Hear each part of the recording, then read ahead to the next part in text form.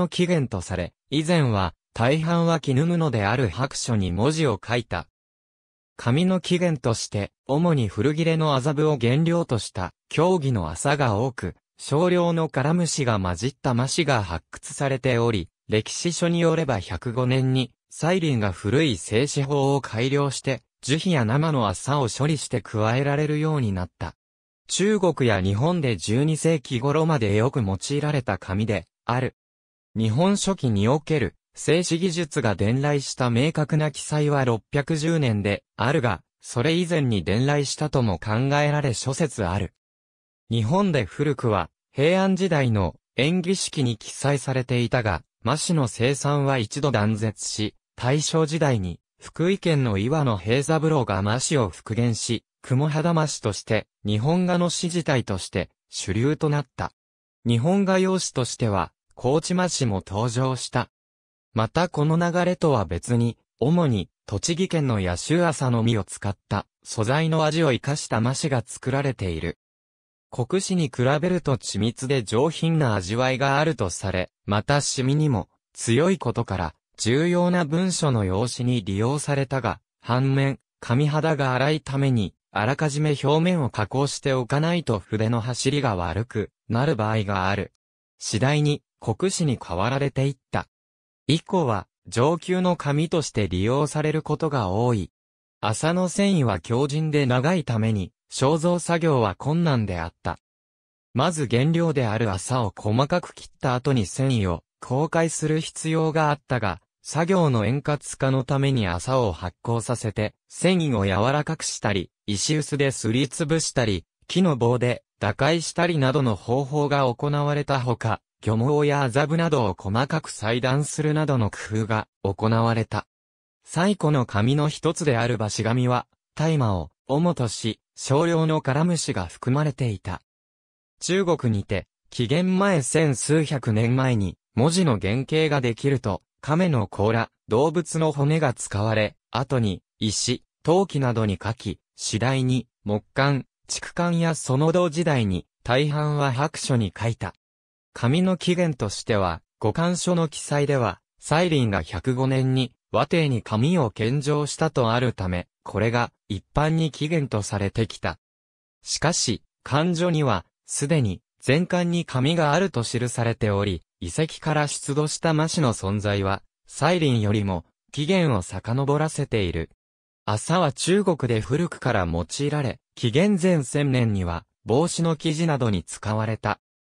先生章にて出土した橋紙は、紀元前140年から87年頃のもので、同時に出土した貨幣から、紀元前118年以前と推定され、主要な原料が大麻で、少量のカラムシを含む植物繊維だと断定されている。前漢先手の頃のものとされる麻紙は、中国にて、ロブノール紙、金石紙、中顔紙であり、原料は、麻とされる。サイリンより、さらに100年古いと見られる西漢時代の文字が、記載された麻紙も2006年に同定されている。こうした証拠によって、サイリンは、蝶を加えることで麻紙を改良したとも考えられるようになった。この麻紙は、最高紙と呼ばれた。サイリンは、樹皮のほか、麻と、ヘーヌの、漁網を原料として、麻紙を作ったが、この後ろ三つは、麻が原料である。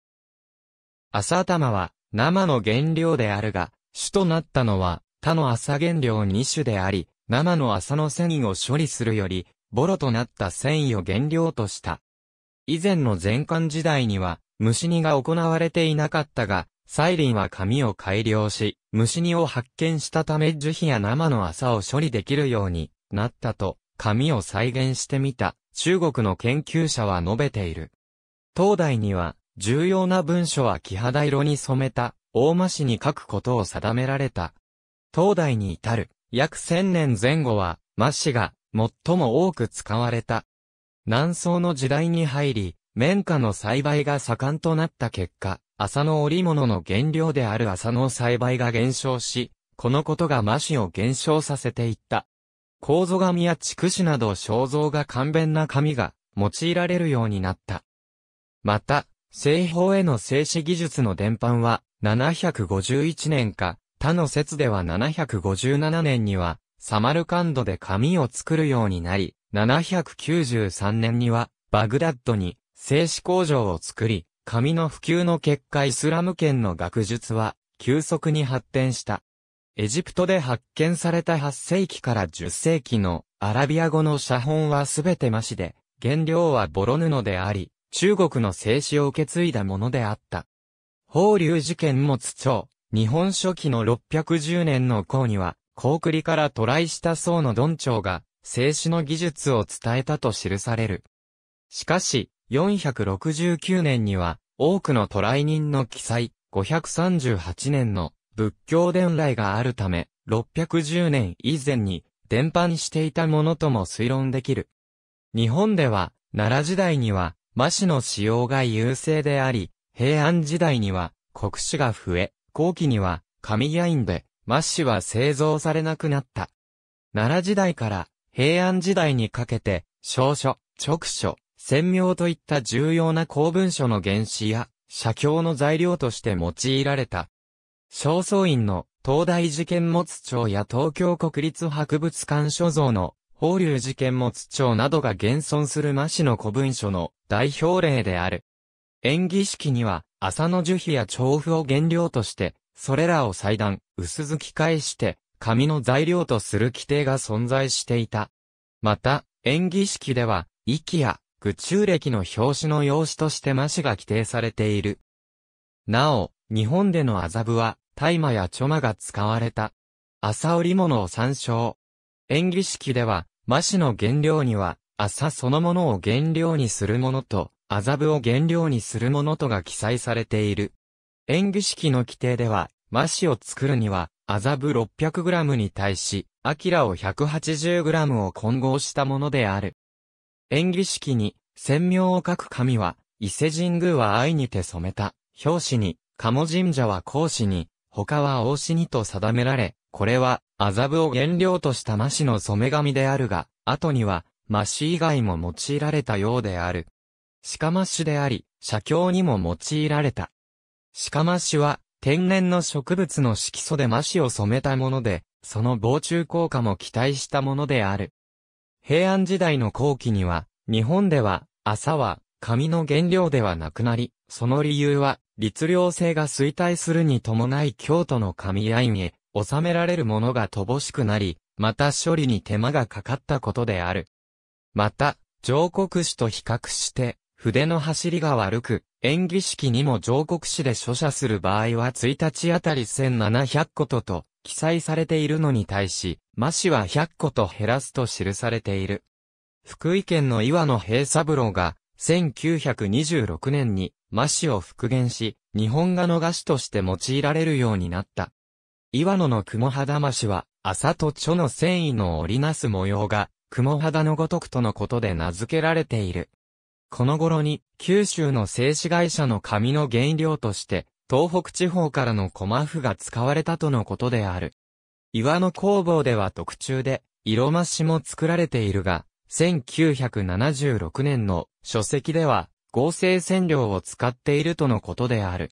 京都、綾部市黒谷町、高知、伊野町でも作られており、生の繊維を手間をかけて処理している。野州朝と、マコモの麻紙、陽光に当てたもの、野州朝は主に神道の用途で出荷されており、その素材の味を活かした麻紙が作られている。前述の通り福井の岩野平三郎が20世紀、初頭に麻紙を復元し、日本画の画紙として用いられるようになった。麻紙は、奈良、平安時代には絵画によく使われたが、後に、日本の国紙でなく墨の発色が良い中国の紙を用いており、岩野による復元によって、再び日本の麻紙が、日本画において、主流となったというより、いわば共に歩んできた。顕微鏡で見ると、隋の時代の大麻紙と比較して、現代の福井の麻紙は、公開は、不平等で、繊維も、不揃い、隙間も大きい。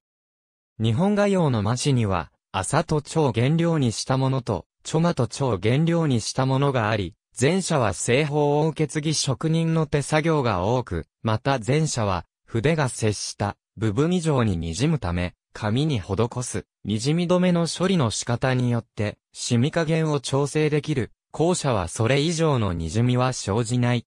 この滲みは、日本画の画家が好んだものである。また、処理中に、ジア塩酸や火星ソーダを用いている。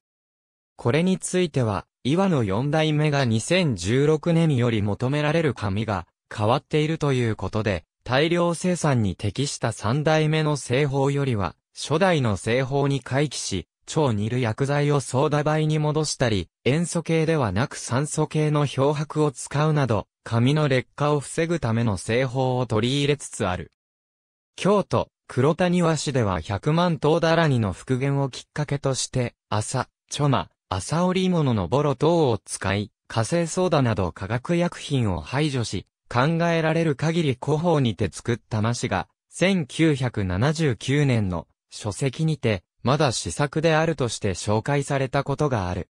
高知の土佐マシは、尾崎によって作られており、1979年の書籍では朝を原料として、打開機でこなし、墨の線がかすれる特徴が、日本画用として好まれると紹介されたことがある。尾崎金春静止書で作られる、高知マシは、雲肌マシより、新たにできた日本画用紙であり、ちょま1、ちょ1の比率で混合され、また、ちょま100%のマシもある。画材としての高知マシの代用ではないが、ちょまを使った泡和紙の特徴を持つマシを開発中との情報が2016年に製造者から寄せられたことがある。栃木県鹿沼市は9割は、浸透用に出荷される野州麻の産地であり、1600年代にも麻の生産が盛んであると記されてきた土地であり、地元の麻を使った紙すきが行われており、麻紙を使った照明も作られている。その野州麻紙工房は2001年に開かれ、同じように処理に手間がかかる筑紫の職人のもとへ、修行へ出て、その経験をもとに麻を加工し、麻の背に部分の生麻だけを原料とした麻紙や、小柄や麻くずを混ぜて作るものもある。他に、はがき、書道、版画、壁紙、障子用など、その手触りや温かみ、和らぎを活かした製品が作られている。自然な素材に興味があり、切った麻をアルカリ水で煮るといった工程を経る。2017年には、美濃和紙の構造紙工房が、大麻のみ、またちょっと麻との麻紙を使った朱印帳を制作したこともある。中国では、麻紙は衰退しただけであって、日本のように断絶はしておらず、先西省の宝章の上坊村には、麻紙の古代の技法が伝えられており、朝靴や朝切れを原料としている。不純物や染色もあるため、川水で洗い、草木灰や石灰で漂白し、薄でよくついたのだが、上坊村では、3回洗い、3回薄を引く。ヨーロッパの手すき紙は、現在でも中国から伝わった伝統技術が温存されている。西洋は比較的忠実にその技術を継承しており、麻や天のボロ布を原料としている。